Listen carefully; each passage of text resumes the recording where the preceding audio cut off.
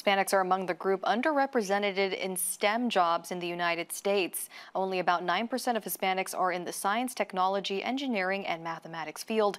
One Laredoan is among that small percentage taking part in a program that is out of this world. Arliseli Garza has more on his research and journey with NASA. Liseli. Anybody know the first uh, four planets? This native Laredoan is reaching for the stars and in the classrooms. Roberto Antonio del Bosque took the time off a space project to speak to students at Washington Middle School.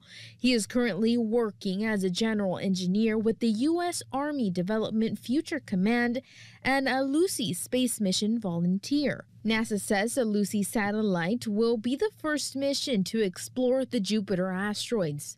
He currently does outreach presentations for students to promote the STEM field.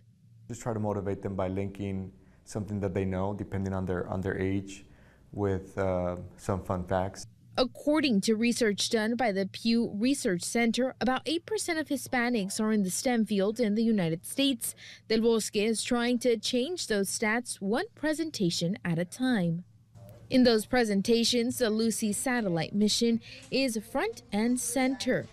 The Lucy satellite is a uh, got launched uh, in 2021 it's going to take uh, 12 years to get to the Trojan asteroid field. Um, and from there, they're going to gather data um, from the from the remnants that are there. Trojan asteroid belt is close to the planet Jupiter. Del Bosque says the Lucy satellite will do another flyover in December. This will make it faster before traveling into space.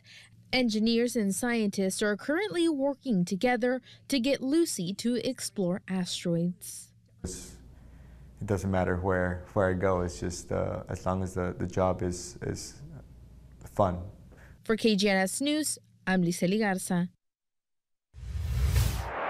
Thanks, Liseli. Lucy Satellite is supposed to reach the Jupiter Trojan asteroid belt by 2023 if all goes as planned.